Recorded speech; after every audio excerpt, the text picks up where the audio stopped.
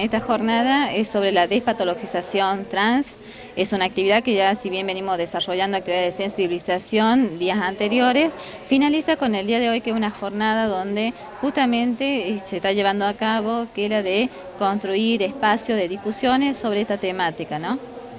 ¿Cómo toma, cree que usted habla recién de la sociedad, de la aceptación o no? ¿Se da eso? ¿Las cosas fueron cambiando? Sí, este, recién me preguntaba cuál era uno de los inconvenientes, los problemas que este, personalmente yo podía decir que era uno de los factores que hacían a la exclusión. Y eh, para mí, y lo que nosotros conversamos mucho, estos temas en el Consejo de la Diversidad, es eh, la falta de accesibilidad a las políticas públicas.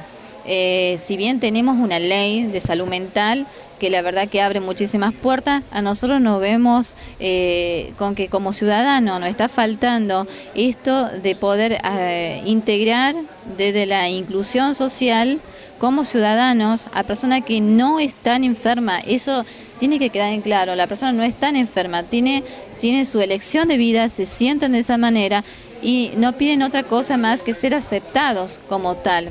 Entonces...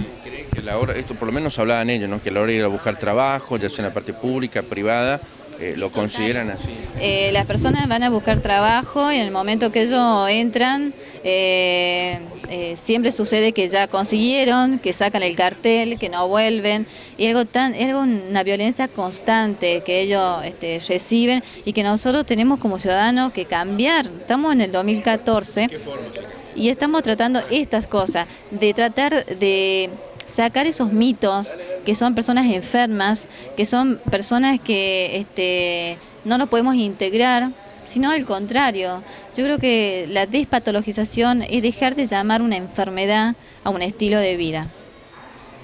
¿Y esto es, posible cambiarlo en los manuales, en los libros de medicina? Eso ya se sacó del libro de medicina, de todos los profesionales de salud, se sacó ya del listado de enfermedades. Es por eso que hoy estamos conmemorando esos días a través de jornadas así de despatologización. Y en todo el mundo se está desarrollando en lugares puntuales. Paralelamente a este día hay jornadas que se están haciendo sobre la despatologización y nosotros ya estamos en ese listado este, de las actividades mundiales.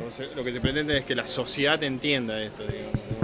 Sí, en realidad tiene que llegar a la sensibilización, la sensibilidad sobre esta temática, de la aceptación, eh, no encuadrarnos solamente en ideas que, que no es fácil, eh, en ideas que a nosotros podemos tratar de trabajarla detrás de un escritorio y demás, sino de aplicarla diariamente, con gestos, con actitudes, con integrar desde la inclusión. Y esto es importante, y por qué lo recalco, que no hay enfermedad, no son eh, personas enfermas, son personas que eligen y que se sienten de esta manera.